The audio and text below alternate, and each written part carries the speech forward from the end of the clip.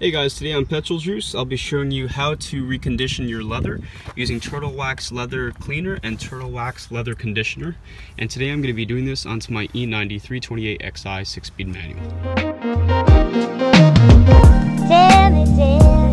So the uh, directions for this are very simple. What you're going to do is just uh, spray it onto a non-porous interior leather. So this is non-porous, so we're fine. You want to get it as even as possible. So once you spread it all on, go ahead and get your cloth and spread evenly throughout the leather. Make sure everything's nice and clean. And before it dries, wipe it off with the dry side and repeat on every single surface until everything's nice and clean.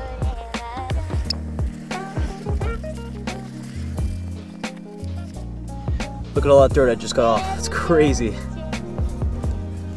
Very, very well. Uh, I mean, got all this dirt and uh, off my leather, so that shows you how dirty it was.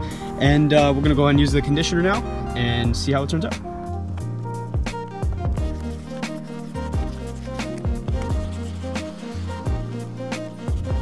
Look at the difference. This is a completely uh, cleaned off leather seat. I mean, you can't really tell it through the camera, but in person, I mean, it just looks very, very good.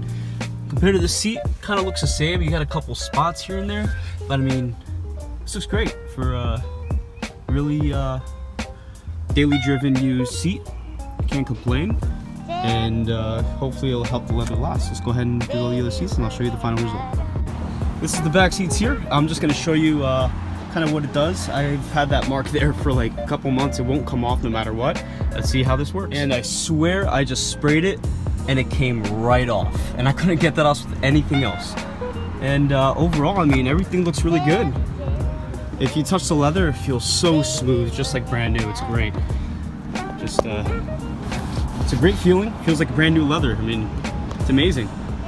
Overall, I would highly recommend the Turtle Wax Leather Restorer Kit. Uh, it cleans uh, and reconditions leather like brand new. If you feel it up, it really feels like straight out the factory, and uh, you could feel the difference when you sit down and drive. So please give a like and subscribe, and let me know what you guys want to see in the next video.